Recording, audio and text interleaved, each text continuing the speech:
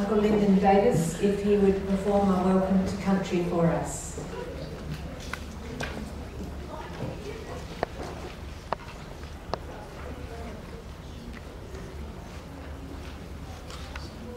Yo, yo way, wanya, nara, wanya ngalam, wanya ngalam malula jagan. Kari chocho mau biron kayan man murangai cakun kun gan yongo bidena naju banya banya jimi cakan baran cunu cundul cundul koji yo wei wanya yan yan wanya yan yan gan kalanggonin yo wei nara hello. Hello. Yo wanya nara yo. Uh, hello and welcome. Uh, my name is Lyndon Davis. Uh, I'm a descendant traditional custodians. I'm, you know, they said Uncle Lyndon. I said, yeah, them young ones call me that, but there's a lot of uncles and aunties already out there, you know, older than me, you know, but, you know, I'm just saying I'd just like to acknowledge that, that uh, uh, our elders in the room here, especially Auntie Hope back there, uh, Gubbi Elder, and uh, acknowledging family here also. Uh, you know, all the elders and other countrymen and women, especially uh, our guest here. Um, very warm welcome on behalf of our mob. Uh, Wanya is the word for welcome in this country, Gubbi landscape. And this area here, we're talking about Malula Jagan, which is referring to Malula homelands. Jagan is home, ground, earth, and Malula is referring to the red-bellied black snake. Right. So um, that's who I sort of speak on behalf and represent. Great-great-grandmother from the district. In the 1850s, she was born in the Mooloolah River. And so I was using her language, and I used it a lot in the songs and dances. And that pretty much the language was quoting from an old song talking about walking here, walking, living on this landscape. And, you know, the people that lived here before us, you know, my ancestors, I think about it every day, every time I look at the trees, the plants, the animals, the landscape, the oceans, everything. I know that uh, their presence there, because uh, they did the job of caring for it for us, the next generation. And I'm doing my best to learn from the land and, uh, and you know, continuing the custodianship that was uh, shown before. And so, you know, the more we know about the place, uh, the better it can be cared for. You know, that fellow, they, they don't know nothing about that car, they don't know how to look after that car, you know.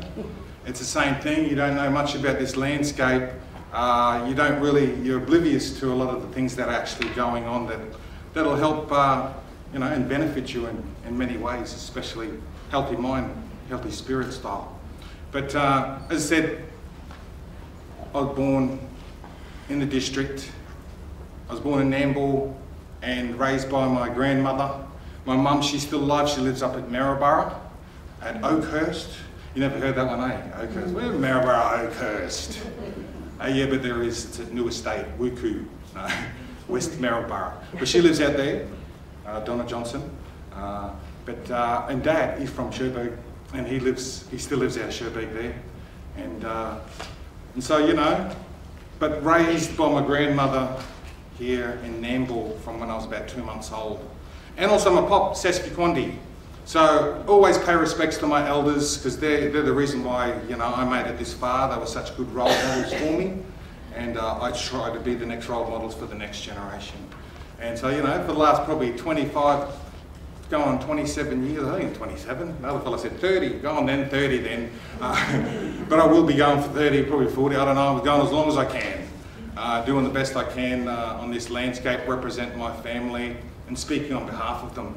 Uh, a lot of them are elders that I grew up with, you know, that are older than me and my older cousins. They'd be there going, oh, you, you, get up there, boy, you get up there and say something. We can't say it like you. You play that didge too, so you get up there, you know, you make it wow for us, you make us look good. No, yeah, but, but you know, uh, I always try to, you know, make all the all of us uh, empower, you know, like I was empowered by a lot of Aboriginal people uh, in my lifetime and still are. And so, you know, I just try and, and, and play my role as well. So as, uh, as part of the welcome, um, I always play this musical instrument.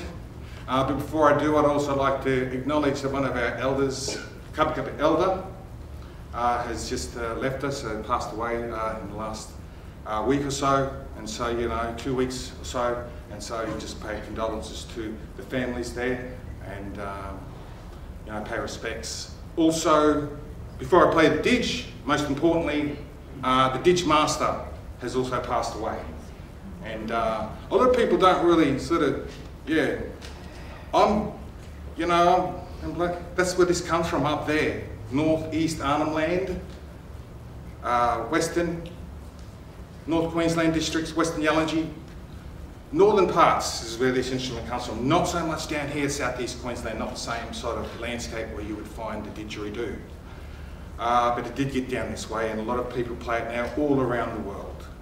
But we just must pay respects to the originators, the original people that looked after this one for the rest of the world to see. And the Didge Master has uh, just, a, he's a bit of a legend. You know, you know your didgeridoos. I'm not even going to say the name of the didgeridoo at the moment, just for protocol, because you're not even allowed to say the name, his name, uh, for protocol as well.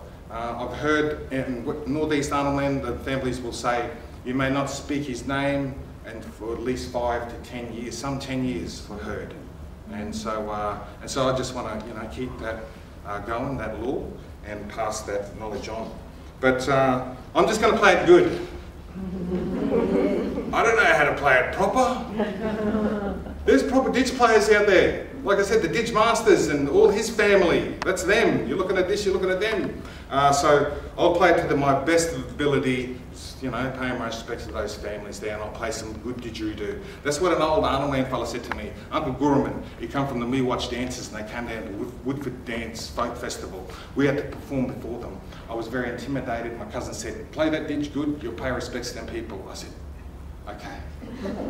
and after I played it, they wanted my didge, and they played it in their dance. And then after the dance, later on that night, we were sitting around the, the campsite, the Murri camp there, uh, Uncle Gorman there around the fire said, Lyndon, you play good didgeridoo, boy, but you need to come up home and we'll teach you how to play proper. so, you know, I sort of wait that chance now and I get up there and I'd be playing it around the place. Might do a bit of busking and get myself out there. And, no, again, but no, uh, a lot of respect for this musical instrument I'd like to use it as part of the welcome to country, welcome all the good people, welcome all the good spirits, you know, also pay respects to our Torres Strait Island families, also our South Island families as well. And Yinnaburra Nation, sorry Yinnaburra, no, but Yinnaburra, them fellas up in the mountains there. Uh, yeah, they're part of the Kapi Kapi clan as well, so, your way.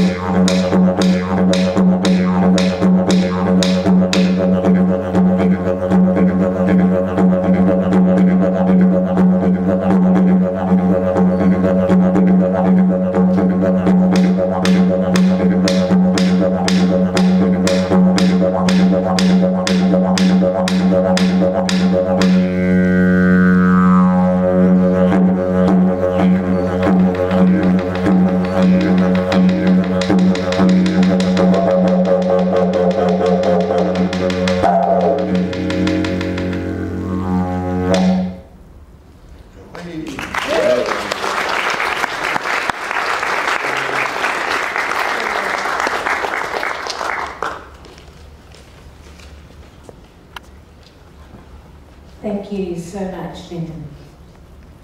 Uh, just a little spot of housekeeping before we get started.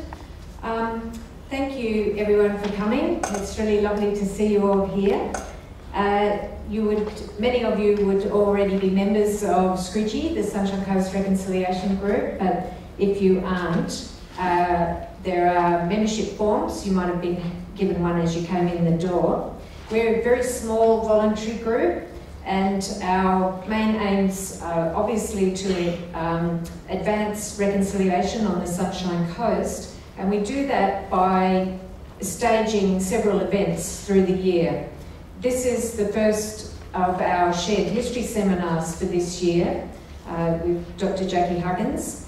Um, we have held many, many shared history seminars, uh, mostly organised by Meredith Walker, who's here with us today, and then we will have a couple more towards the end of this year, uh, where we invite both local people and sometimes academics or historians um, to speak about events on the Sunshine Coast.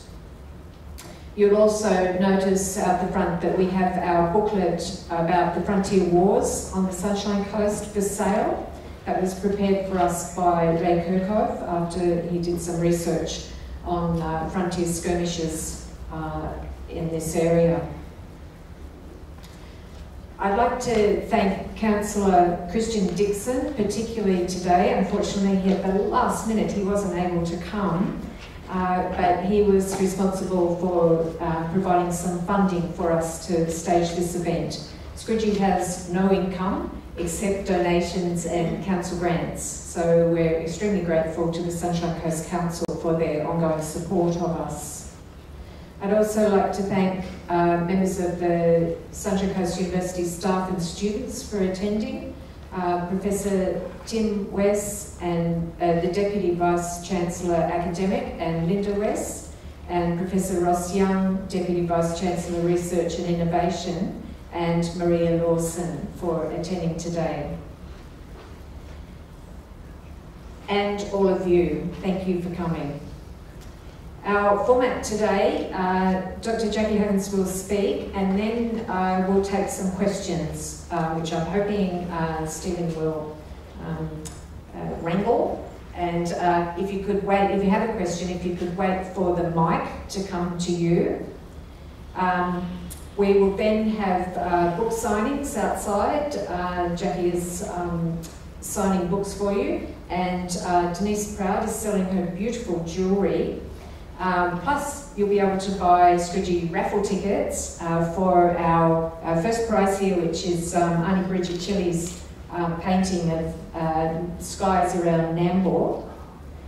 Um, and this is, the raffle prize is going to be drawn next Tuesday at the um, Auntie Betty Memorial Walk, which you would have got a flyer for. Um, that's being held in uh, Point Park in Malula, Mooloolaba, uh, right at the end of the Mooloolah River, the mouth of the Mooloolah River, next Tuesday, if you're interested in coming along to that. Uh, that's a free event, and um, Auntie Bridget Chili will be leading a walk there. Uh, toilets, women's toilets are downstairs out this side, and the men's downstairs out that side. There's an emergency door here. If you hear any booming noises or something alarms you dreadfully, just run out that door. Um, there's a, um, what do you call it? Assembly area. Assembly area over there with the kangaroos over there. Um, I would advise people if you cannot socially distance, the government advice is still that you should wear a mask. Um, so um, leave that to your discretion. Uh, but I would advise that that's a good idea. Parking is free today. Um, and I'll hand over now to Stephen Mam, who is the First Nations Partnership Officer, one of two, for the Sunshine Coast Council, and he will chair today. Thank you, Stephen.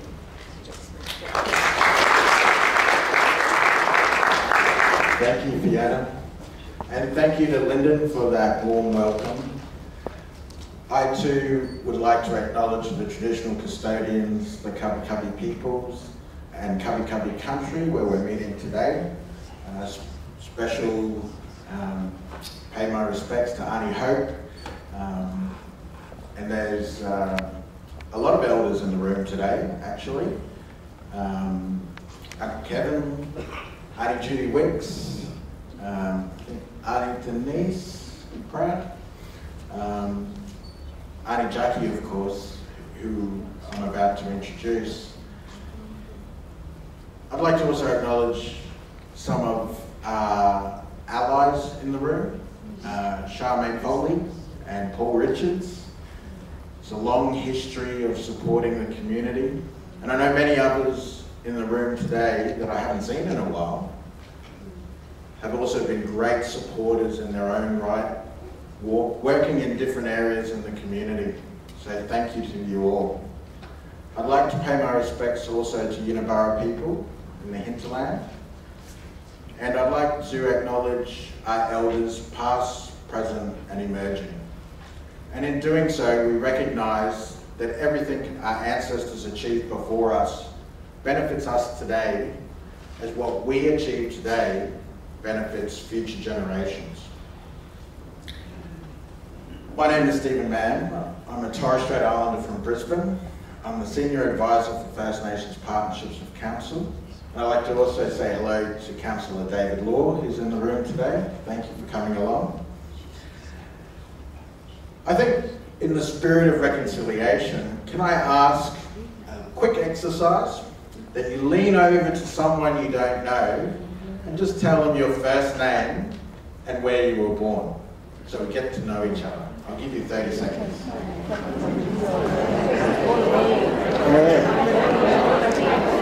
Uh, Brisbane.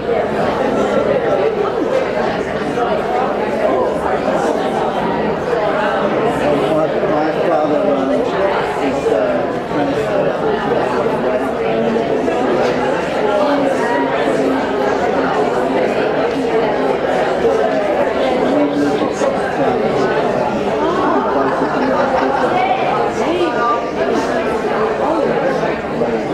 So I'd like to do that on some occasions.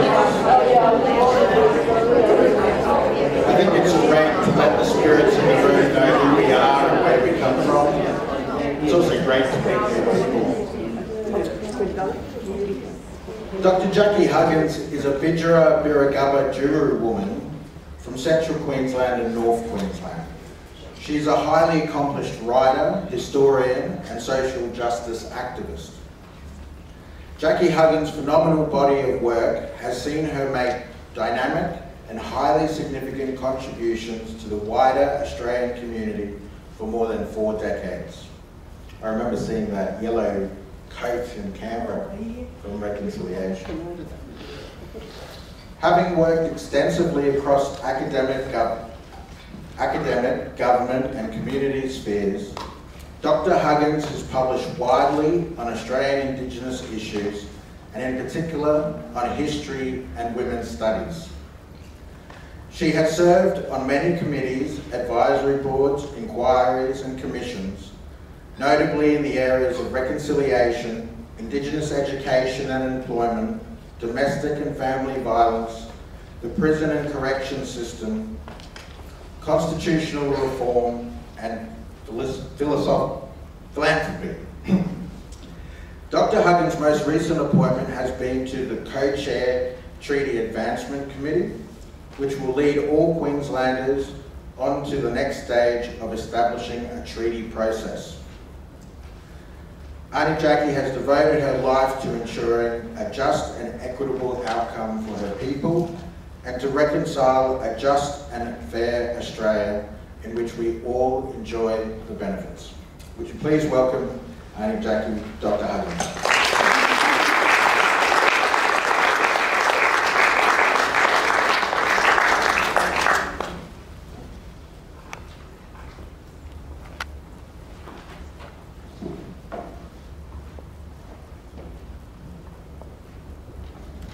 What a morning. Thank you, uh, Stephen, for your very gracious introduction to me.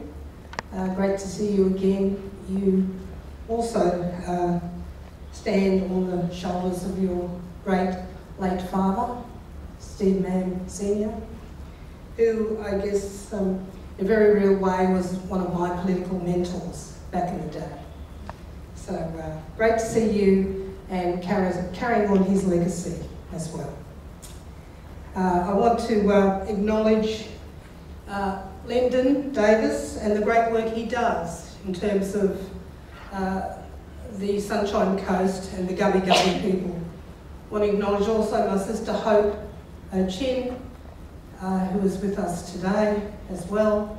Sister girl, good to see you. And to uh, all our, um, our elders in the room, our uh, First Nations peoples, brothers and sisters, I want to acknowledge you. But also, also I want to acknowledge uh, the good allies and supporters that we have here too, of which uh, there are many, many of you, and who share this struggle as, uh, as much as we do. I want to acknowledge also my sister girl Denise Proud um, Chambers from Cherbourg, where uh, our people were sent um, and uh, incarcerated there for, for a long, long time. So um, Denise has travelled up from Brisbane with me and uh, has some wonderful, her wonderful jewellery, which I always wear. Uh, makes me uh, very proud of uh, our culture and, and, our people.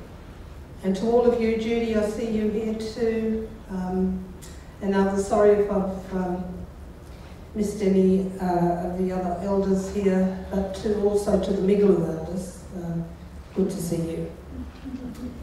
Um, I want to thank uh, the um, uh, Sunshine Coast Reconciliation Group. I can't say the acronym, it's too, you know,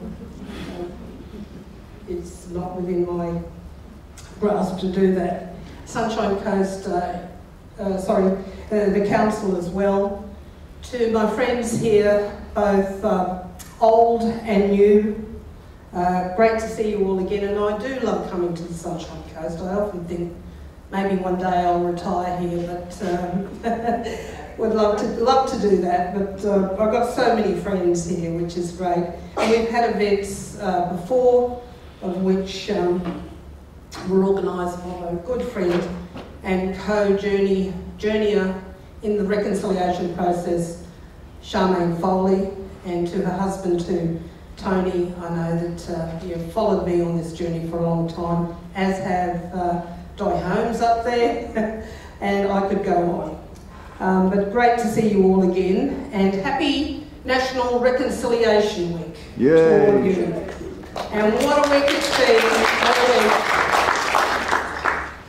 The pendulum, my friends, um, it is swinging.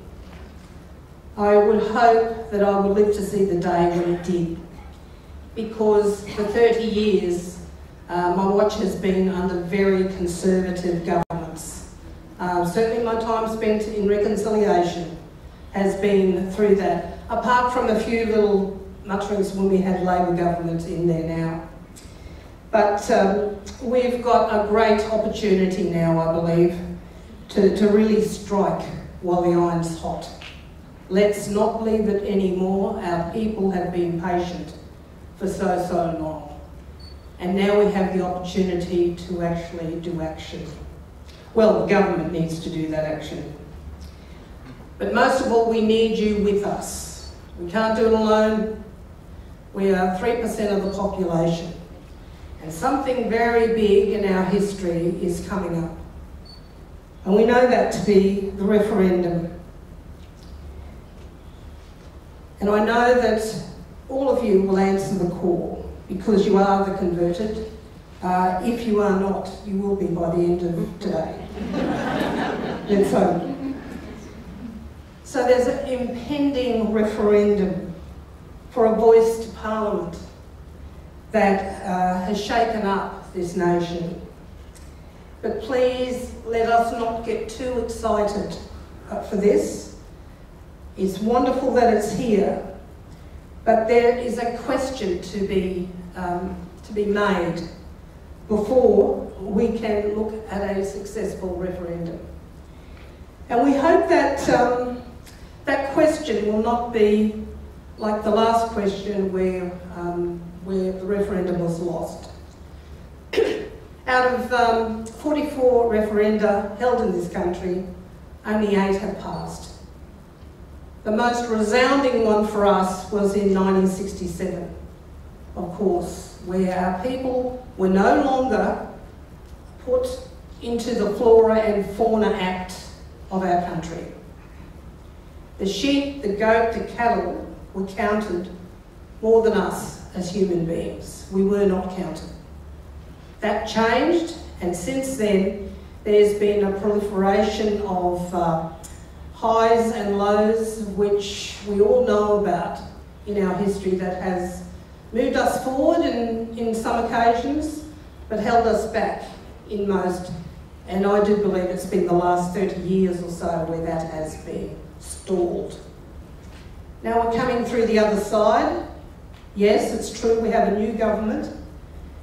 We are, we're, well, personally, I am very, very uh, glad to be rid of a very hostile government, an unfriendly government against our people, and felt like we felt like they would have to give up something. They would have to give up something in order for us to obtain our rights. This is changing. It has to change. Because remember like Mabo, did we take your backyards? Did we steal your, your furniture and cars and what else? No, that never happened. The same with the referendum and the same with voice, treaty and truth, of which I'll come to very shortly. So it's been for my journey um, about 30 years now officially involved in the reconciliation process. I've been on the Council for Aboriginal Reconciliation, uh, Reconciliation Australia, and um, also the patron for the Reconciliation uh, Queensland Incorporated with my very good friend Dame Quentin Bryce.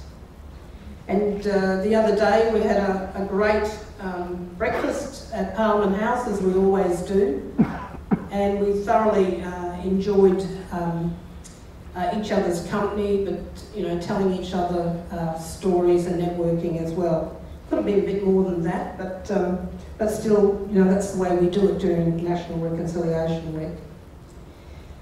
So for me, um, reconciliation has never ever been a soft issue for me. It's always been something hard that we must strive for. And people back then actually didn't even get it, you know, people did not get the concept of reconciliation.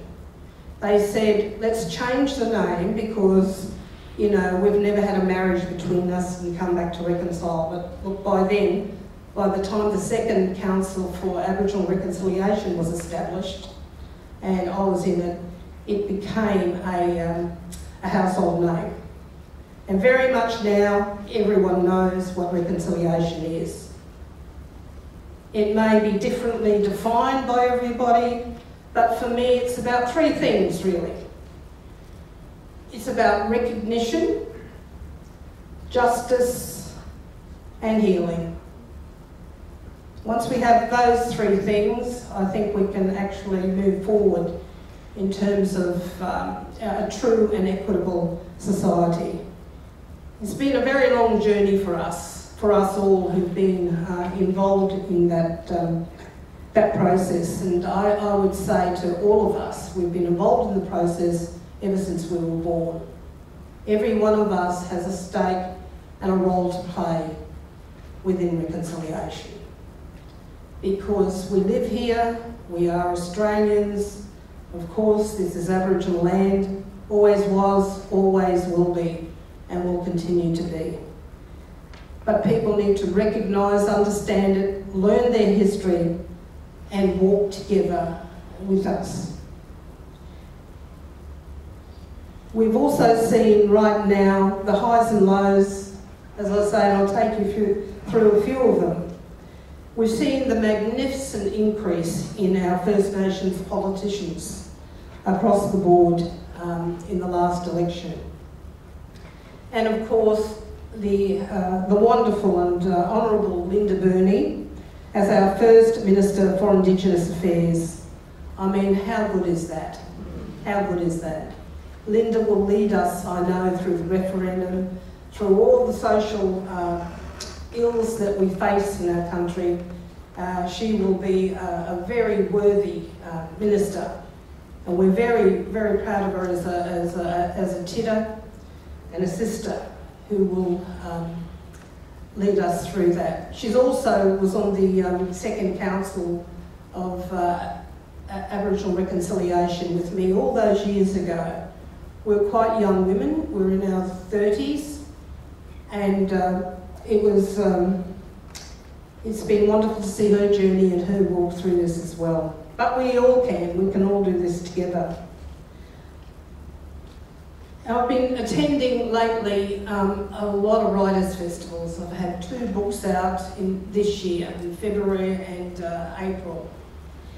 And one of the highs of that, I've seen the, the, the engaged minds of people and the people attending these, um, these events. And once upon a time, there would just be six people in the room when you did a writers' conference. And you could count number of authors on this hand.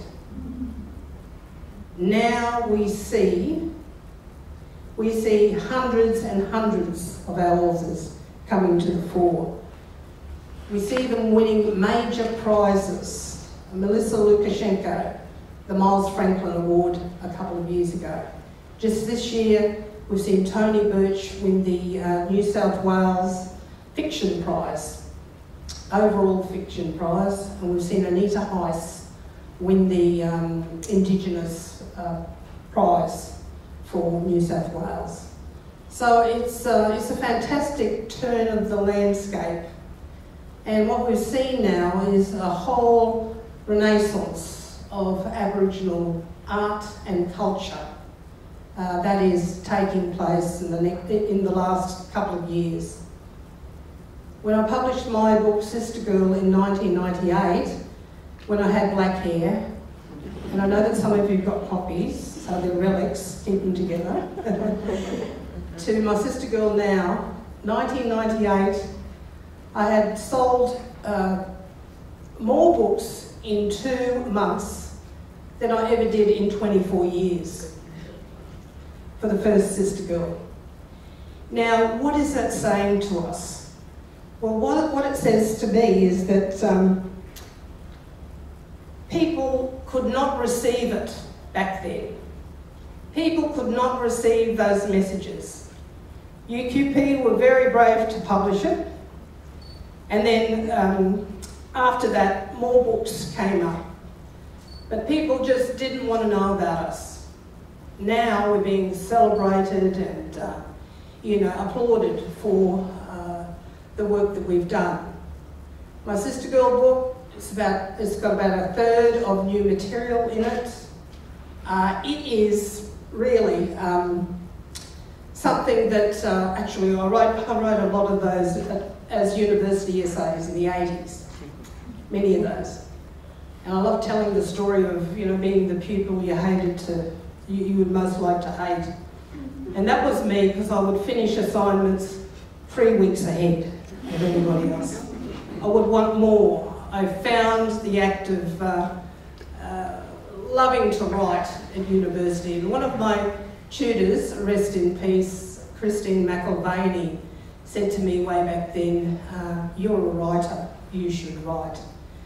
Um, so that gave me the confidence, of course, um, like most Aboriginal people uh, in the room, I'm sure, who have stories of you know, being turned away and uh, low expectations of our people uh, as we went through school. And for me, it was no different. At Inala State High School, I went to the headmistress and said I wanted to do senior. She looked at me and she said, oh, you're Aboriginal, aren't you? I said, yes. And she said, oh, well, yeah, no. You, you, you can't do senior, you wouldn't be, you couldn't possibly do senior. So what that does to a child at that age puts a psychological stumbling block in your head. You think you're dumb, you can't succeed, and uh, well, the rest is history, and look where I am now. That is not a, a one-off story. We all have it. Every Aboriginal person in this room would have stories like those. So what I am proud to see is the number of uh, Indigenous students going through university now as well. They're able to be succeeding right across the board in terms of um, law, medicine, um, astrophysicists as well. Um, we have, of course, our second, no, our first, uh, my, my nephew Nathan Jarro is our first Queensland Indigenous judge. Um, he's been there for about three years. And now we have Lincoln Crowley, who is in the um, Supreme Court, Paul, isn't it? Yeah, our first. And um, they, uh, it's just fabulous to see this whole tide, um, it's just turning, uh, I believe. But still a long way to go, and we shouldn't really rest on our laurels because, of course, we'll be facing a no campaign. If the referendum uh, is on the table, we need the question, but we will have all the kinds of racists and bigots and you know who come out and uh, attack us. It will be ugly. It will be ugly. Just like marriage equality, there will be um, uh, some extremists that will want to uh, put us down.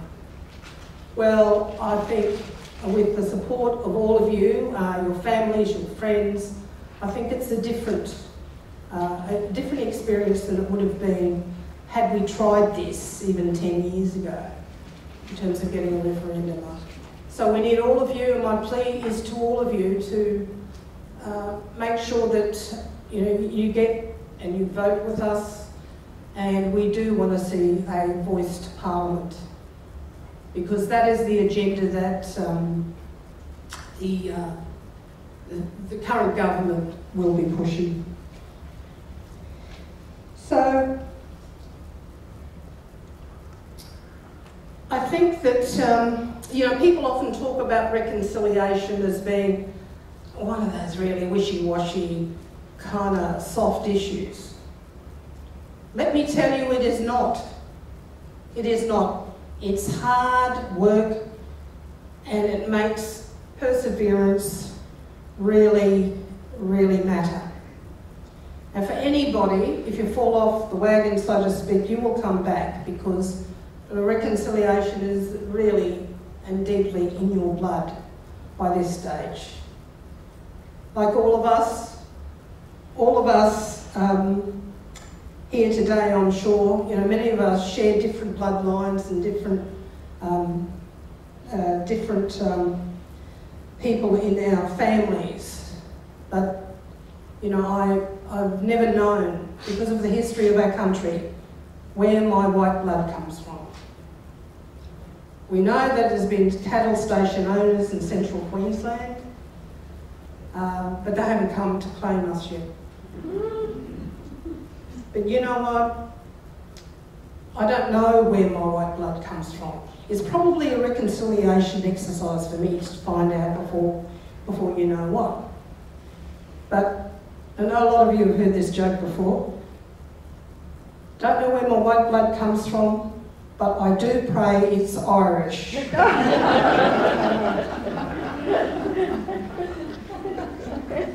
Someone said, no, Huggins is a, when I went to London, oh, that stuff. It's an English name, you know. okay, right I said, but um, maybe that's further down the track for me because I've got too much to do in terms of um, saving the world in other places and not, you know, responding to my uh, white family history. So reconciliation is hard work, and I just want to acknowledge the Sunshine Coast um, uh, Reconciliation Group as well as Noongar. And We've got Bev Hickey here, who ran that for many years with Auntie Ruth Hegarty and um, and Laura and the others on the north side of Brisbane.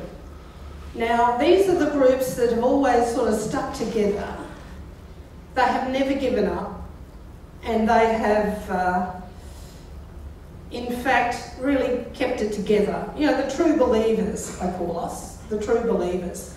But hopefully more will join, more, more will join the, the, um, the gathering now that we've got such a, a golden opportunity to spread the word amongst uh, white fellas and, uh, and migrants and other, um, other ethnic groups as well. And um, I know that Denise is on the um, Reconciliation Queensland Committee, and it's, it's really uh, good to see people. If you want to join, you should join up. You know, it's free. It's kind of you can follow. You can follow us here in this great movement. And we always wanted to create this people's movement back in the day. And that people's movement, I believe, it's gone underground a bit but it's coming up again, it's resurfacing after lying dormant, not, not, not so much dormant, but being underground for the last 30 years. And really that's been because it's been on such a conservative government watch. So here we are now in terms of being able to reignite that and to, um, to get the, the horrible statistics that our people still face through the close the gap measures. Only three targets are on track out of 17 targets to close that gap. You know, when we first started this, they said that it would take, Monash University Research said it would take 495 years to close that gap. 495 years. Hopefully now it's around the 300 years. But as we all know, we're not going to be here. Well, some of us might. We'll always be here in spirit, of course. We live on this earth, but we'll be somewhere else. So these are, this is the outstanding um, unfinished business that we have to do, as well as the incarceration rates. Aboriginal women are the fastest growing prison population on the planet, and so are our people. It's not in America it's here in our own backyards, but they like to suppress those numbers and say, oh, it's not that bad, really. In terms of uh, child protection, same thing. Our kids are being taken away at an alarming rate. This has to stop too. This has to stop, which brings me on to my um, uh, to my comments about treaty in um, in Queensland, and in fact, the treaty, I'm sure, will become a national uh, agenda item too, because they're talking about voice, treaty, and truth. So back in 2018, um, I was appointed to co-chair um, the treaty, treaty um, eminent panel. Uh, Quentin Bryce was on there, Kerry O'Brien, uh, there was Michael Lavarch, Mick Gooda, uh, and others. We had a treaty working group of which Charmaine Foley was uh, involved in too, to, um, to sort of corral the, the white fellas because she's so good at that in terms of uh, um, how she how she works through um, her work. And uh, through throughout COVID, we had COVID, of course, up and down. Uh, we had consultations about 2,000 people, 24 locations across Queensland. Uh, that proved pretty fruitful. What they wanted were two basic things to, apart from everything else, um, which were, uh, they said, we can't have a process without truth telling. We have to do the truth telling. And the other one was that we never ceded sovereignty in our country or anywhere. So they were the two main points, the basic points that people wanted us to put forward and, and to get out there. As we see through our writings, through our books, through our art, uh, literature, dance, uh, song, ceremony, that, um, that these uh, imperatives in terms of being able to make sure that that truth-telling process still continues. And it will. So we're about, uh, I guess, we, we looked at also models that were in uh, British Columbia, which I think is probably the best. We looked at um, Treaty of Waitangi in New Zealand, which, you know, uh, depends on who you ask, but at least it's something. It is a bargaining tool, it's, it has a leverage point. We don't have any of that. We're the only Commonwealth country in the world that has never ceded a, a treaty with its peoples. Those calls for treaties are not new. They have been going for decades. And in fact, when uh, the Council for Aboriginal Reconciliation handed down our report, uh, it said, well, you know, there was a government bureaucrat sitting in with us, and she said, probably keeping an eye on us. And she said, oh, please don't use treaty. Could you do compact, agreement, another word except treaty? And we thought, well, blow you, we're going to use treaty. so, you know, when we handed our report in, um, uh, uh, well, the March over the bridge happened then, 2000. We left treaty in, we said it will become a reality one day, and here we are. Here we are seeing that uh, reality come to a fruition. So we looked at all the overseas models and we picked out um, issues that would inform us around um, the treaty making they did in their country. But as you know, horses for courses, we're all very different. We need, um, we need a diversity but we also need um, ways in which we do this. That would be Indigenous led and Indigenous controlled. Victoria now has a Yoorrook uh, commission, which is a truth telling commission, but we're about two years, in fact, behind them. Well, uh, I reckon about three now, if the state government does not act on our report that we put in February. And uh, really, uh, there was supposed to be a launch on the 6th of June. That didn't happen. Um, we haven't been officially uh, told when that report will be handed down, but um, uh, certainly uh, by the Premier. Uh, just waiting to get a date for her to, um, to acknowledge that report.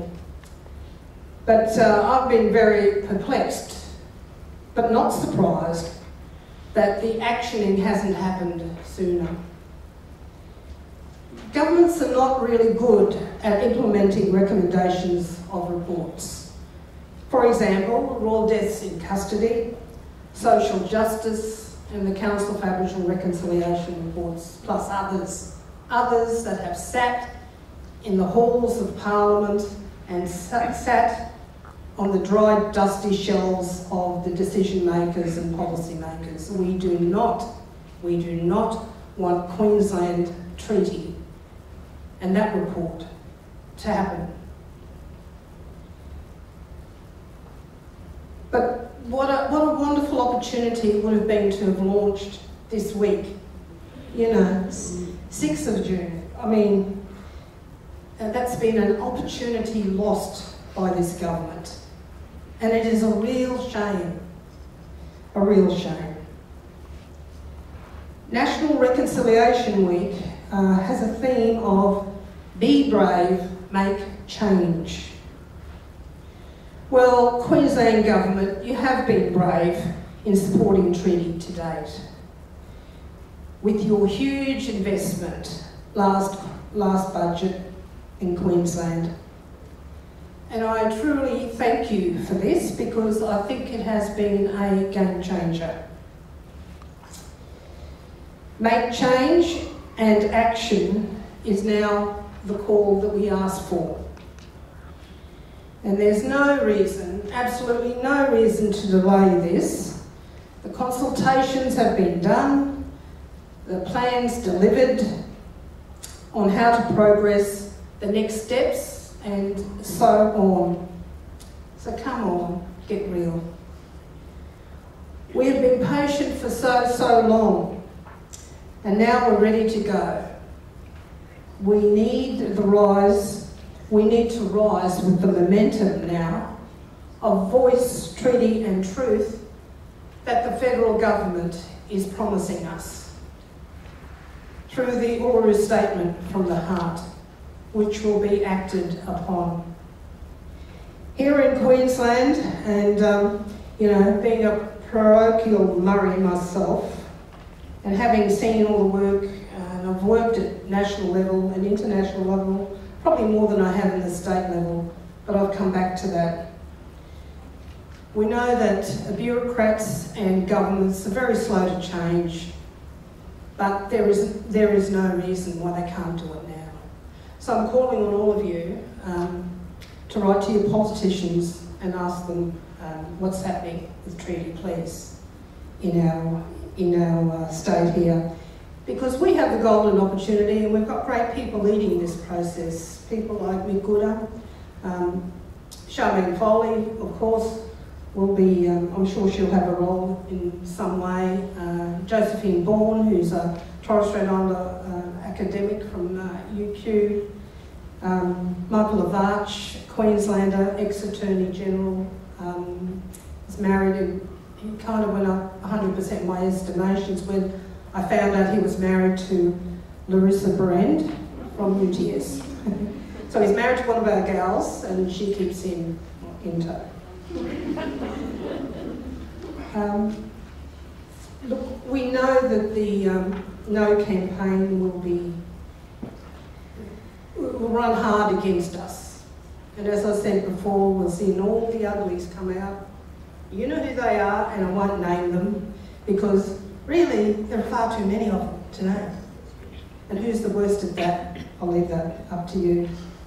But I do know that, and I have faith in the Australian public to come back and wholly support us in our um, search for social justice and the very uh, nature of uh, overcoming um, what we need to do in terms of lifting those horrible, horrible statistics that I spoke about just before.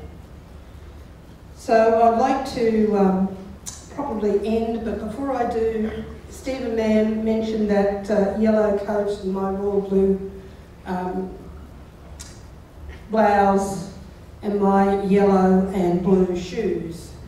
Uh, that we'll put into the um, museum in Canberra. And uh, funny little story, one of my dear friends' uh, grandsons went into there and he's about 11 years old. He came running home to his mother and he said, Mum, I saw Jackie's shrine in the museum. I thought, oh, that's nice, shrine. Um, but he, um, it's lovely, you know, it was lovely. I think it still stands there. And they were, uh, that was the uh, stuff I did most of my reconciliation work in officially, and you know, even sitting down with John Howard and trying to make sense through that. Uh, it didn't, it didn't. Um, and you know, I asked him years later, are there any regrets about not saying sorry to, to our people, stolen generation? And uh, he looked at me and I never got an answer, so I knew what that meant. So, um, thank you all for, um, for listening. I'm sure that, uh, you know, the next stage of our next 10 years is going to be very exciting, very, very exciting. I want to see change for our people in our country. And I want to see good people like you come along with us and guide us through that because um, it will be it will be a difficult time for us during the referendum stage stages.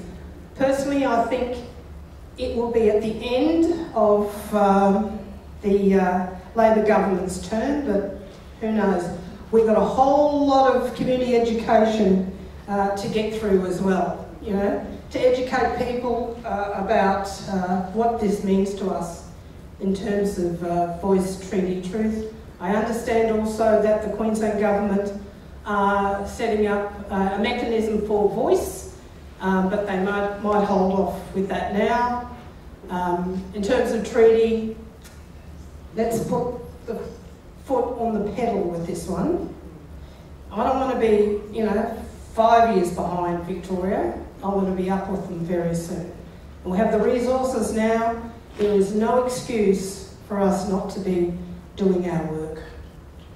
So please, in whatever way you can help us, um, make sure this becomes a reality. And it's a reality for all of us, not just our people, our First Nations peoples of this country. So thanks for uh, listening, a Molly, and we'll take some questions now, Steve? Yeah. Thank you.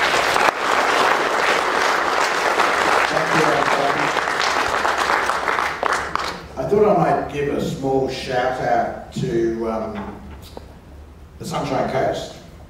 This year, the Sunshine Coast has the largest National Reconciliation Week program that we've ever had. And if you're looking for some events that's going to be happening over the next few days, you can find it on Sunshine Coast Council's website under First Nations. Um, I heard a little rumour that uh, the Premier was looking to do an announcement soon, and you, it may be on the Sunshine Coast. So it may or may not happen, but if it does, you heard it here first. While I've got the mic, because I think I have to pass it upwards and across once. Um, We've got another. We've got. Oh, we've got another one? Oh, excellent. Um, so I, I might take the privilege to ask a little question. Um, I was lucky enough to attend the Brisbane Writers Festival, and I was um, on your book about Uncle Jack. And my question was, if you could um, perhaps elaborate for some of the people here that may not know about the story, but I was touched by Uncle Jack's experience when he came back as a returned veteran.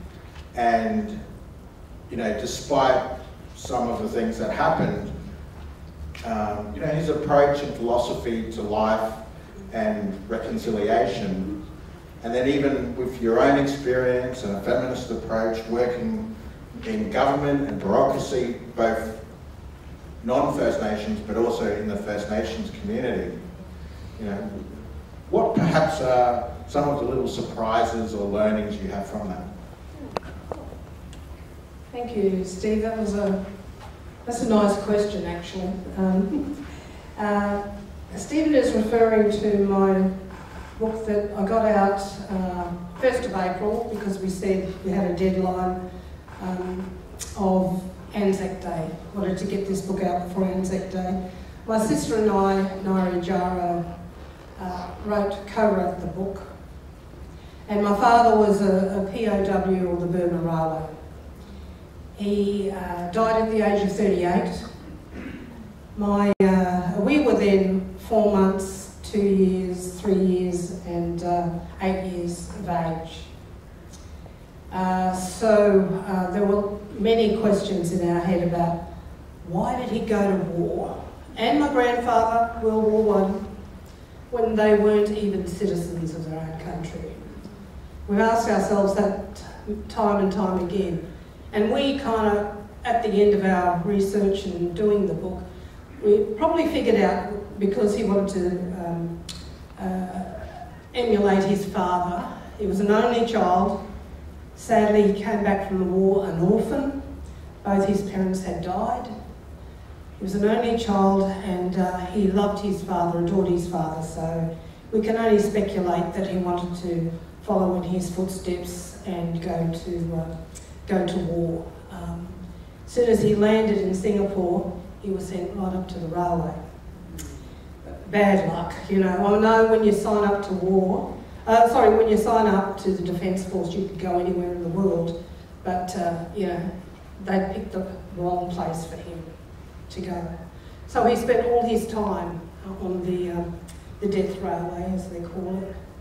But his resilience and um, he, he was super fit, uh, A-grade footballer, um, the first Indigenous lifesaver in the country, the first Aboriginal man to work at the PMG, which is now the Australia Post.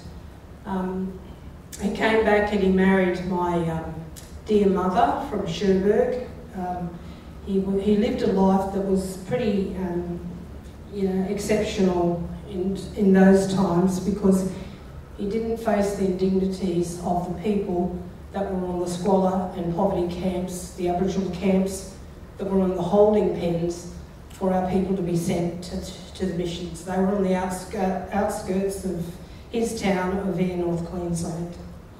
So, um, you know, this kind of thing, I think that's where our roots of reconciliation, well, certainly for me, came from, because uh, it was extraordinary uh, in terms of him being a free man rather than, you know, my mother being imprisoned in Cherbourg Aboriginal Mission, rounded up in the back of a cattle truck and sent from Carnarvon Gorge, Springsure area in the 1920s.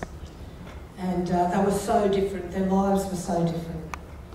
But for me, and, and then she came here and then she worked the reconciliation um, roundabout. She, she worked that way before ahead of its time, before we even knew the term reconciliation, in terms of working with white people and making sure our people received, um, you know, a good bed, um, housing and food and clothing when they came off the missions and reserves.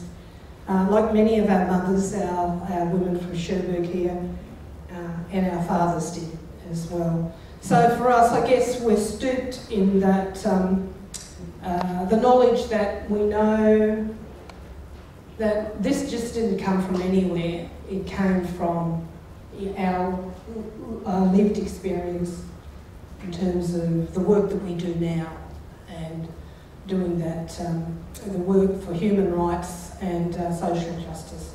But there is still a long way to go and uh, I know I'm not trying not to get ahead of myself, Steve, in terms of, you know, really expecting the best, which I do expect the best, but being disappointed that the real, you know, there's a reality that we may receive a no, a no vote. And what does that say to our people? What does it say to all of you that support and recognise us? I will be devastated, let me tell you. We can't afford to lose this one, so we really do need to round up more people that will, uh, will vote for us uh, come the referendum. But there's a long journey to go on that too. But thank you for that question. Um, Paul, do you had a question? And anybody else?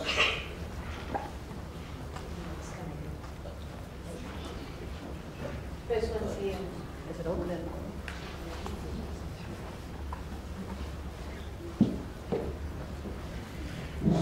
I should confess, first of all, being one of Jackie's best supporters. So, I just want to ask you- 53 years. You've been in the struggle with us, Paul. Look, can I just say here? This is Paul Richards. My mother used to call him um, uh, her solicitor, a lawyer. But he's not, I don't think your mother ever used me for nothing. I said, yeah, no, she didn't. But, you know, uh, we're goody goodies, but anyway, sorry for it. Just wanted to suggest, maybe you should ask the government the question, aren't they ashamed that the firsts have all occurred without any real help or benefit from the government, but in fact in opposition to the government? For example, the first solicitor of the history of Queensland was Jackie Payne in about 87. And she did it herself uh, through articles and, you know, the, se- the second one was Tony McAvoy, did through articles and so forth. But Jackie became a magistrate, uh, uh, or some years ago now, uh, but then uh, the first district court judge was three years ago. The first the Supreme Court judge was is coming this week or next week or something. It's been announced it's happening.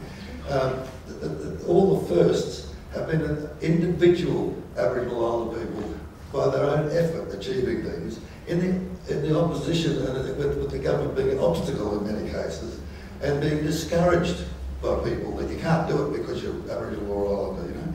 Can you point out to them perhaps that, that, it, it, it, that people have achieved these things without any help from them?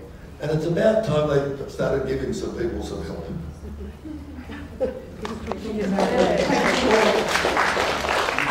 Thanks, Paul. And as I say, he's been in a struggle with us 53 years now. And uh, I hope there's a couple of your books out there still for sale. Paul, what is it called again? The Agitator. I was going to explain that. Oh. Can I explain the Yeah. One of the things I always tried to do is to, when, when the, the, the police or the government have done something wrong, you turn it round to your advantage somehow. So, for example, in 1986, 100 police with, police with batons and dogs attacked a peaceful Aboriginal social function at Rosalie in, in Brisbane. And I happened to get caught up in the melee and got whacked in the head and thrown in the van too. So I've just published a book, it's called Adventures with Agitators. On the front cover is my watch house photograph. and, and I'm very proud of it because the, the copper that whacked me actually helped me. For example, I, I, I uh, was found not guilty of obscene language. I sued them and got compensation, which paid my tax that year. I wouldn't mind getting roughed up once a year and have to pay my tax. Thirdly, I got the watch house, original watch house photograph from the exhibits, and it's hanging on my wall with great pride. Uh, or or thirdly, anyway, I got the, the, the, my status at the Aboriginal community went up knowing I was a hero. And lastly, I, I, I got, uh, got to use it for the front cover of my book. Now, the copper probably thought, thought he'd give me a hard time, and the Bjelke Petersen fascist regime probably were only too happy. But in fact, I've turned it to my advantage. Now, I've tried to do that throughout my, my practice with all with Aboriginal people. So, at, at the agitators comes from a 1980 court case where the, uh, the chairman of uh, the Yarrabah Aboriginal community, Mr Percy Neal, was trying to Aboriginalise the workforce. And he was therefore proposing that they get rid of the non-skilled white people who are working there and either train the Aboriginal people to work in those positions and actually take it over themselves. So the government set him up on a charge of spitting on a white man, took it to court, and, and it, it was, it did, he didn't do it anyway, but of course, in those days the magistrates were not lawyers, they were public servants that worked their way by being loyal servants to the government. So the magistrate in sentencing him said, uh, any Aboriginal who agitates for change in the Aboriginal community deserves to be more seriously punished as a sentencing principle and sent him to jail for three months. So I thought to myself, when I came to write the book, all these people like Jackie and all these Aboriginal people I've worked with were all agitators. And we went to the High Court. Lionel Murphy said uh, that, that uh, Oscar Wilde had once said, our civilization would never have progressed without the benefit of agitators. And therefore, Mr. Neal is entitled to be an agitator. So, and Jackie's one of them. And please join us all in being agitators. Make noise. Uh, hi Jackie, uh, wonderful to hear you live. I've heard you for probably at least 30 years on the radio over the years. And, yeah, having a day like this might come around. Uh, but what I did want to ask is I'm not clear on is there any impediment to implementing the voice to parliament at the same time as the treaty process? Because politicians are masters at setting up false dichotomies and um, already I've sort of heard a little bit about, uh, oh, you know, we can't do this until we get that or. Yeah. No, thanks, uh, thanks, uh, Rob, for your question because it's a very good one, and people do get confused about uh, the sequence, what follows what, and who should do what. I'm saying to you that here in Queensland we have the opportunity right now to forward the process of treaty or treaties. We have resources I'm talking $300 million that we were granted in the last uh, Queensland budget. Fantastic, we love it, it's wonderful. We have that opportunity now, we have the team to do it, to lock into place. There will be, of course, expressions of interest so we can represent the whole state, okay? We have that opportunity here. Um, federally, there's the voice that's being um, established. Queensland is in the process of doing their voice, but I don't know which way the government will take this. I believe, like Linda Burney does, we can run all these at the same time, but while we have the opportunity here in Queensland to do our own bit, we should be doing it. You know, the voice treaty and, and truth, well, you know, truth fits into all of those things. And we do want, um, I think the feds are talking about a, a Makarrata um, commission. We want one in our state because, you know, Queensland is very different from other states. You know that. We all grew up here, most of us did. We know the brutality of our history, and we know, um, you know, there were elements there of, of good work together. There are the unpalatable truths that we need to tell. And by gee, we've got to start doing that now while we're all here and to enjoying the fruits of our labour of getting this stuff through. So I really do believe we can run those three things at, at the same time. But we have this opportunity in Queensland right now, we've got to start it. And uh, Victoria, as I said, miles ahead, they're just going ahead. They've got a good government, they have had for years in terms of, probably not in relationship to the COVID experience, but um, you know, certainly in relation to the way they deal with their First Nations peoples. So yeah, run them at the same time, I reckon, and go with what we can. Thanks, Rob, for your question. Uh, so I have a question. My name's Jenny Harvey. Um, back in the day when we were doing reconciliation, we were running actually the Sunshine Coast Reconciliation Group from our Noosa Community Health Centre. And as part of that, uh, we set up with Aunt Carol and other, and Daly and Walbra, um, some reconciliation study circles in the Community Health Centre. And we had great little books that helped us go through the process of studying the story here, what reconciliation was. They were fabulous. And that, those circles we created were just great mm. at recruiting people, but telling the truth. So I've been thinking since all of this, like since when the statement came out, are there any tools like that that we Migaloo can use with our mob to educate them about this whole story and get them on side?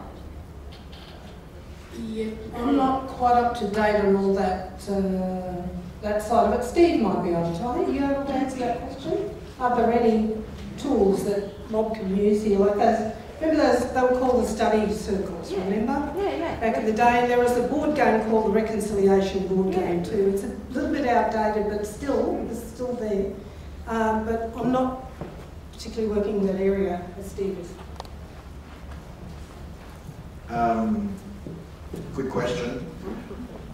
I know there's the, I'm trying to remember the name, the From the Heart website. Yeah. So there's two websites, one is the Uluru Statement and the other is From the Heart. From the Heart, um, that's run by Dean Parkin and um, Mel Pearson. Uh, has a lot of resources, Uh-huh. some campaign material, Right. um, some of that educational stuff. Um, and other than that, I think really Reconciliation Australia's website's quite useful and uh, trying to remember how the name of the school program, Narragunnawali. Who was that? Narragunnawali? Thank you. There we we've go. got two sides. Yeah. Um, yeah. So Yeah, let's Linda? From the Heart and the Uluru Statement websites. Go for resources. Yes. Yes. Thank you very. Yeah, unless um, Linda or Denise, you want to add to that? In terms of resources, yeah? Are you referring to those young circles that happened during the days of the Council of Aboriginal Reconciliation? No, No. referring to more updated stuff about, you know, Uluru Statement from the Heart, what that, what does that mean? You know, voice treaty truth. People about the issue of Just- sovereignty. And I know South Australia's got some on there, South Australian Reconciliation. South Australia. South Australia. More heavily funded And look, It's all a network in the sky, we'll be able to Yeah, and look, those are And the a books, those are the books there by Megan Davis, uh, Thomas Mayer, um, about, uh, you know, I've seen them in bookshops about understanding the, the Uluru Statement from the, from the heart, you know, so there, there are all those texts um, in literature. in literature. honestly, I think we're the mob what's got to do it. Yes. You know, we're the ones who've got to change our mob. That's what, Yeah, yeah. it's up to us now. Yeah, thanks, Jenny. That's so true. Thank you for your work too you've been doing all these um, years. Oh, sorry, hey. all right. I want to mention a, a website that I and a colleague of mine, Wiradjuri artist Glenn Humphrey. Glenn is a very fine artist who's in Melbourne.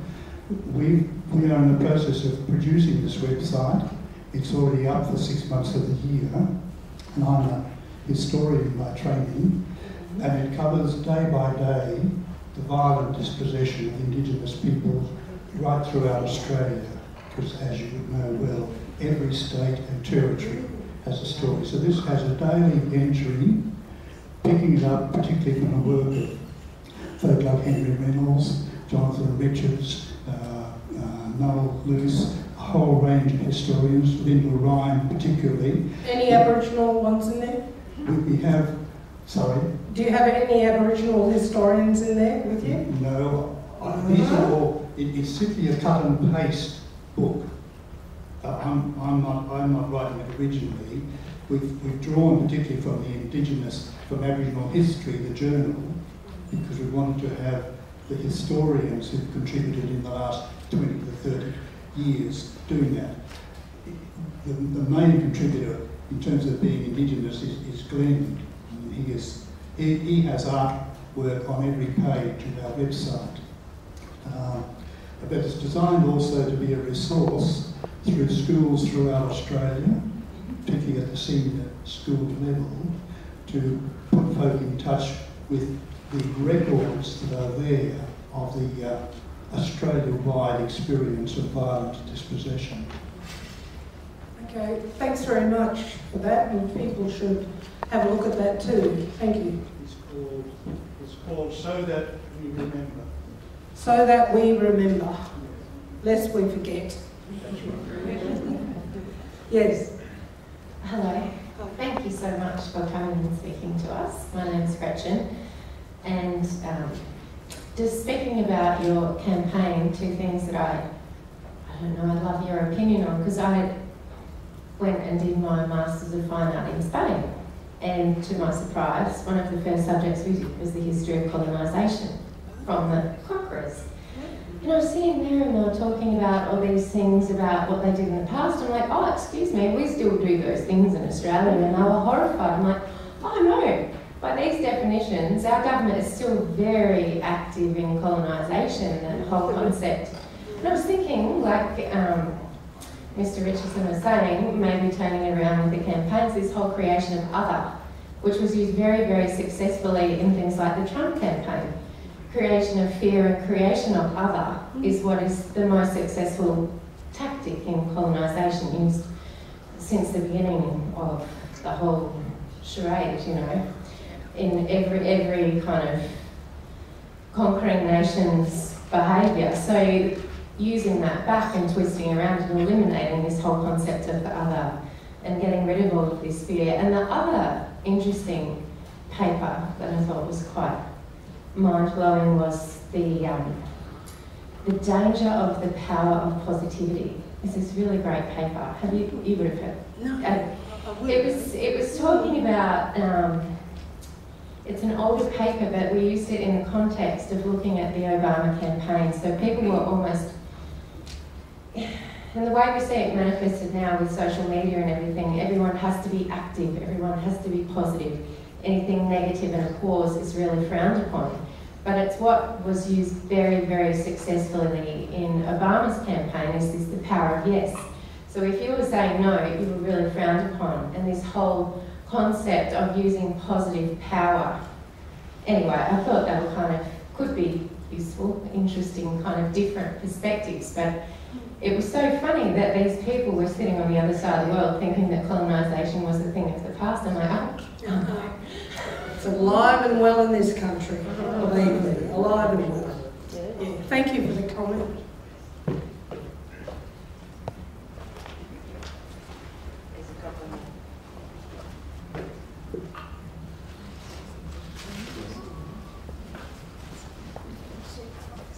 Uh, Thank you very much, Jackie. I uh, really thought the talk was most appropriate. And um, I'd like to add to the gentleman who gave the various historians. Well, just recently I became aware of an Indigenous historian and he's right here in Queensland, southeast Queensland. His name is Dr. Ray Kerkhove. Is he Indigenous? He's Dutch.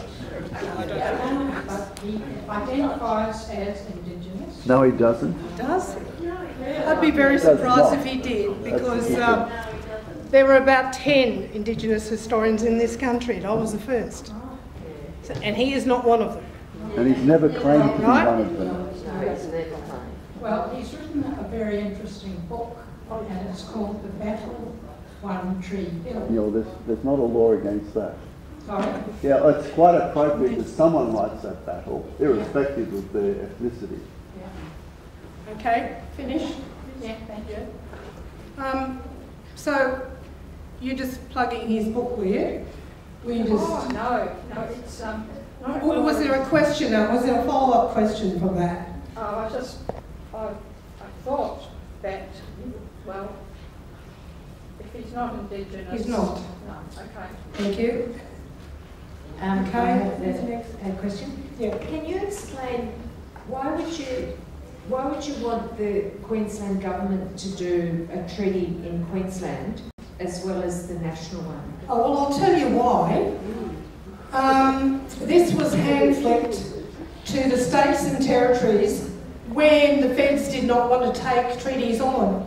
Ken Wyatt said, We will leave this up to the states and territories. So they flicked the ball to us. They're probably regretting it now, but they did. So, yes, we look forward to a national treaty. Well, I do. But first, we do it in our own backyards and we make it real here because we are so down the track in our state. Know, we just need this to be resuscitated and brought forward. And we are different from states. We have different states. I mean, Queensland, very closely followed by West Australia, have had the worst treatment of our people. The worst, and I would argue that in terms of the colonisation of our country, our treatment and the laws. Now I said this last week, you know the laws of uh, Queensland, the Aborigines Protection and Sale of Opium Act, 1897, um, the laws from there, South Africa modelled their apartheid regime on the Queensland legislation and those laws. Out of sight, out of mind. People at Sydney Writers Festival, Festival were aghast at that. They didn't know. This is our history. So, you know, there's a lot of history to be caught up with and a lot of history to, um, to know about. We'll- We'll just take two quick uh, questions. Paul, you wanted to say something else, perhaps we can take yours, and then I'll go to the lady at the front here before um, Jackie can answer. Paul, you had to go. Yeah, I know. Quick question, please. Jackie, I was just thinking, in terms of what the, what the lady up there said, it, it me remember an idea I've been floating with you and others, and that is that some way to recognise the allies you have in some sort of formal way. So, for example, uh, i i I think it would involve perhaps an application to a native title uh, prescribed body corporate for sort of like an honorary membership. You get no rights to, to land, no rights to vote, or anything like that, but you have a right be notified of what's going on in their community and invited to the things that go on. And then you count up the numbers of your honorary members, or whatever you want to call them. And when you go to the government, you can say we've got tens of thousands, perhaps hundreds of thousands of people who are behind us and are part of our movement. And that provides a great deal more pressure on the government than simply people sitting down around the table and saying, this is what we think you should do because it's the right thing. Mm. Friends of Reconciliation, right? There was a movement years and years ago. Will remember that. We really should, you know, reignite that one, please, because reconciliation has warmed us up to where we are. I so believe in that. And there are a lot of supporters out there. I think that should bring that stuff back on again, and I think we're going to have some discussions with uh, Reconciliation Australia in, in um, Sydney about that too. Yeah, but good point, really good point, needs to happen. Hi, Now- Dr. Jackie.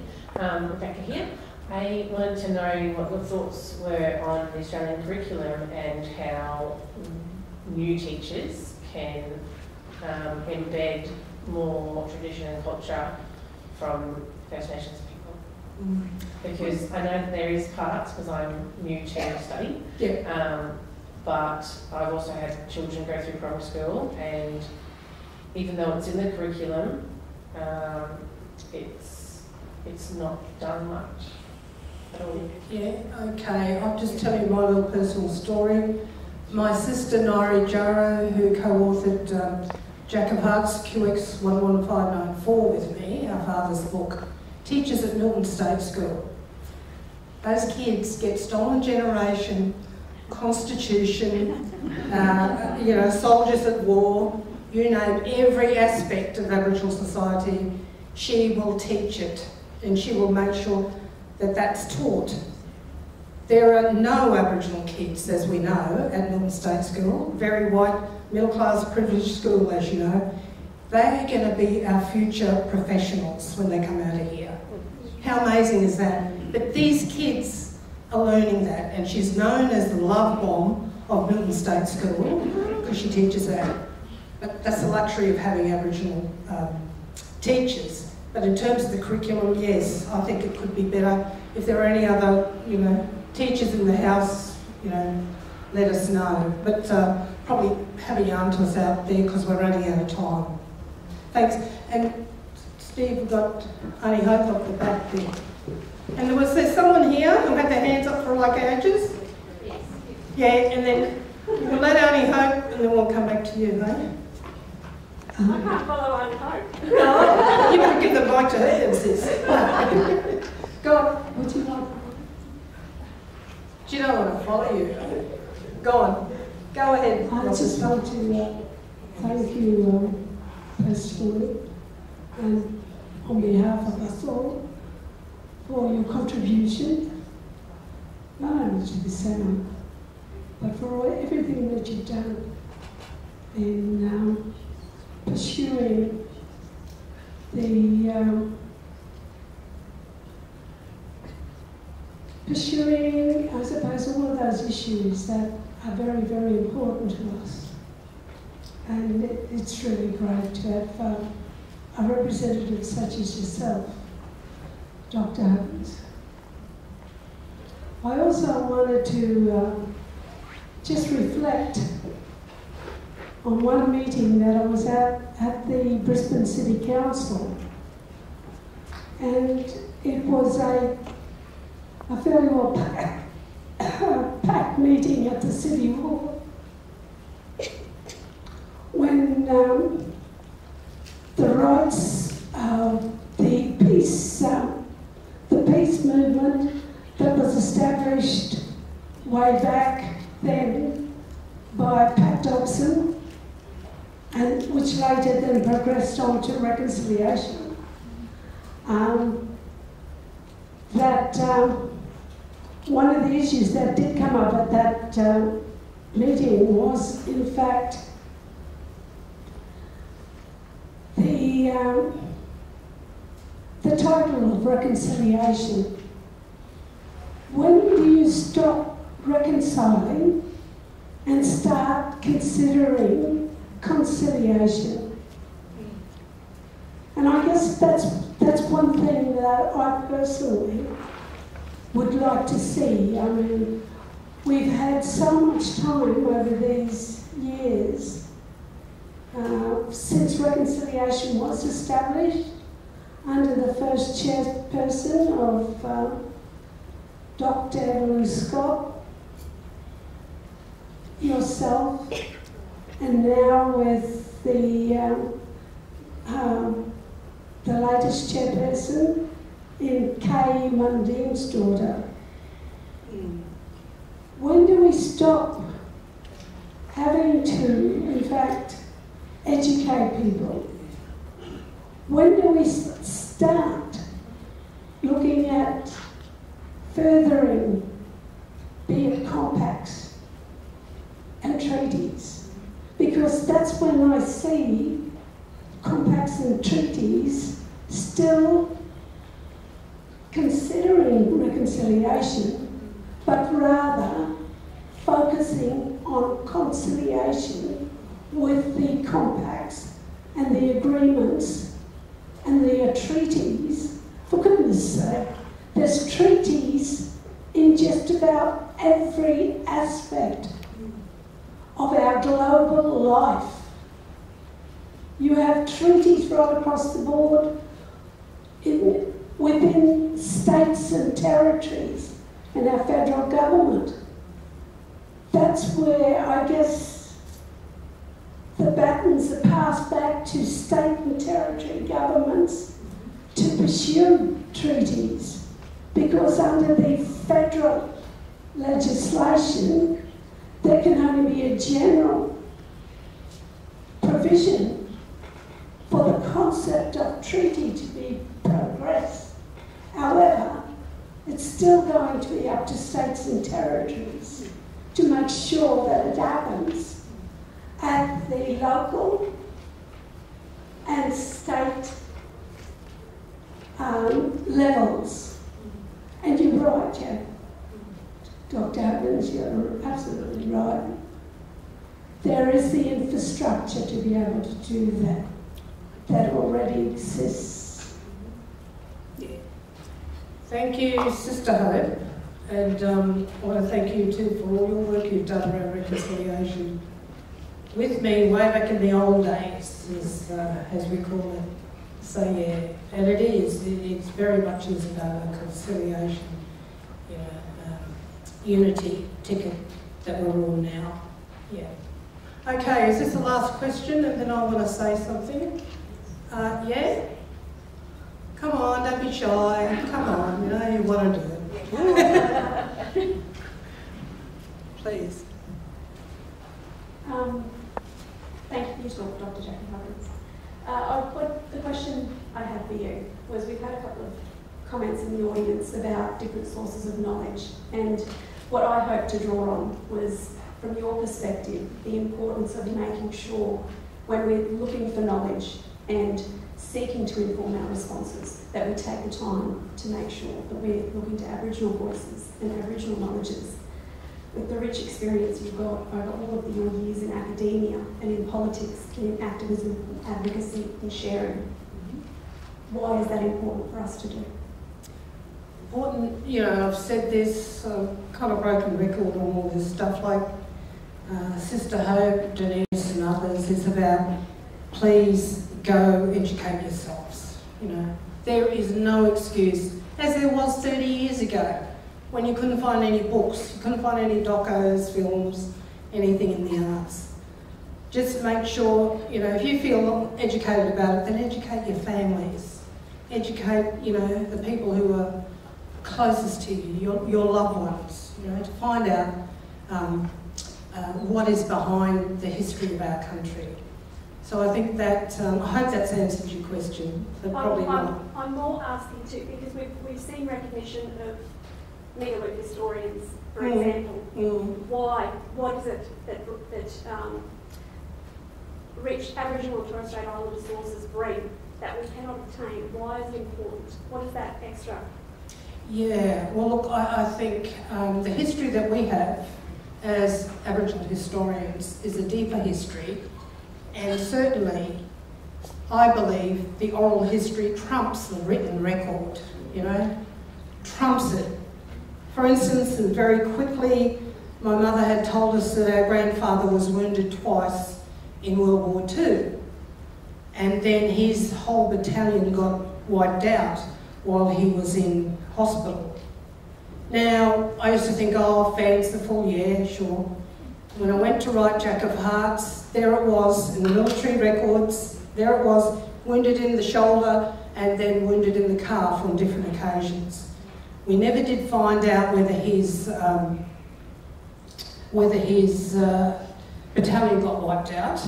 Um, so, weren't too sure about that, but he came home from the war, of course, father and my father. But look, I think you should really, there are, there are about a dozen of us now, historians, John Maynard, um, uh, even Gary Foley writes, uh, writes history, the non-fiction. Guy called Tony Birch um, is winning all these major literary prizes.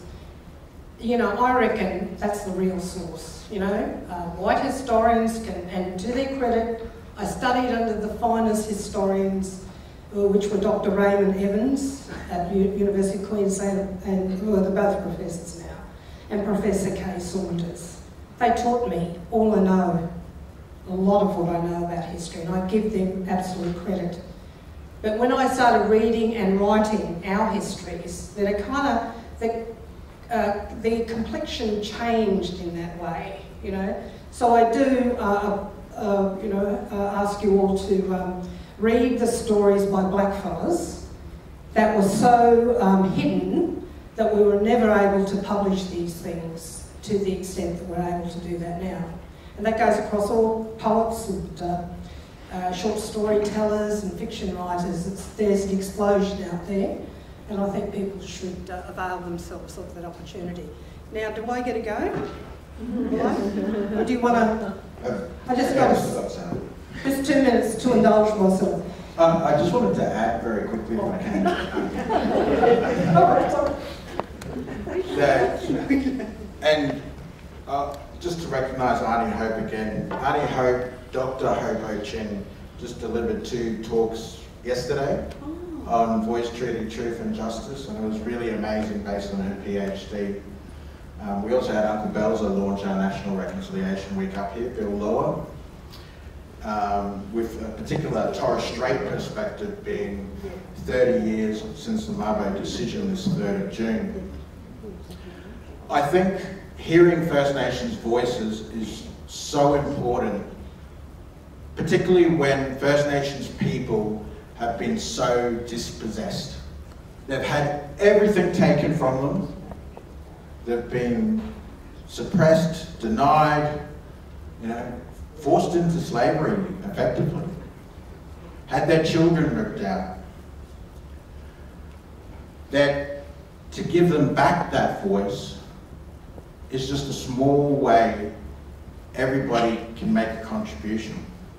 And it's so vital to the healing process, the process of witnessing, that a person, a First Nations person, can share their story, their truth, and everyone will have their truth, and it'll be different to somebody else's truth. But for that person to be able to have an audience, to have a friend, have an ally to share that with, to be to have that story, that truth acknowledged, it's all part of that healing process. So it's not just about historians telling the truth or the history. It's not just about First Nations people standing up in front and sharing their truth. It's also about listening and hearing those stories. Thank you.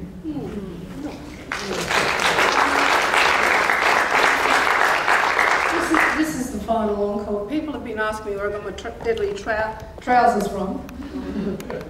they are from Support Indigenous Artists, please. These trousers, they're in orange and other colours. Um, all shapes and sizes from uh, Myer. Uh, the artist name is Elverina Johnson. She comes from Yarrabah Mission, uh, south of Cairns. It's amazing that she has her products in such a mainstream, you know, uh, department store. So this girl's going to be rich, I think. but good on her, good on her. She struggles, she's from Struggle Street. Um, she is a, a survivor of domestic violence, great community worker in her community, does everything. So please, if you feel like that, uh, I don't know if it in men's, um, men's but anyway, that's all right. at Myer in, in, in Brisbane. Now, I just want to tell you about this quickly before I go. Uh, this is a scarf that was made for me by a um, Aboriginal woman artist in um, Stradbroke Island, Marcia Boring. Uh, yeah, thanks. And um, she knew I was going to the UN in my days of the National Congress of Australia's First Peoples, of which I co-chaired, but was defunded, of course, by the feds. Um, because we dared to criticise them every time we went to the UN and other places. So we got defunded, okay. Now they're trying to put up this voice thing, which is really a replica of the National Congress of Australian People, uh, Australia's First Peoples. We were elected by a people, Indigenous, controlled and led, but they dismantled us like ATSIC. So, okay, so she made me this beautiful scarf.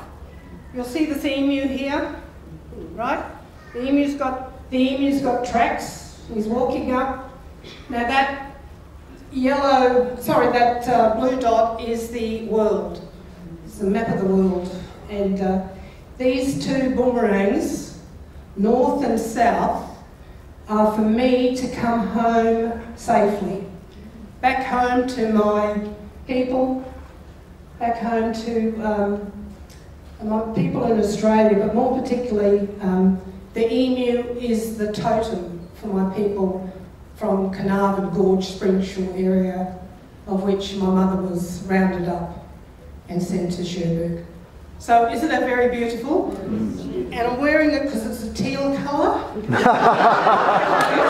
the women. Thanks very much.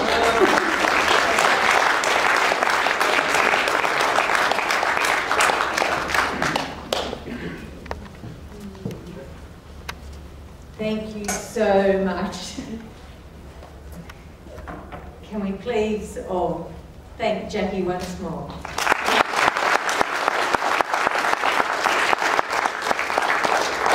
Just I want to mention, three. I just thought of another one. Um, Jackie's going to be signing her books out the front, and we've got some artwork and some other things for sale too, if you want to have a look there. Um, I forgot to mention, Lyndon Davis has an art exhibition that just opened yesterday in the university's art gallery, which is just over there. Uh, it's open Monday to Saturday, I believe. Not open now, but yeah, pop in and have a look at Lyndon's work. Um, and I've just been told that Linda Burney is on Q&A this week on ABC TV, so that will be interesting to see. Great. Thank you so much, Stephen, for chairing. That was fabulous. Did you want to say?